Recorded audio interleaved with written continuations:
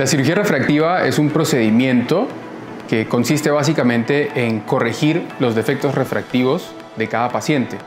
Recordemos que tenemos hipermetropía, miopía o astigmatismo, los cuales se pueden corregir con una cirugía llamada excimer láser.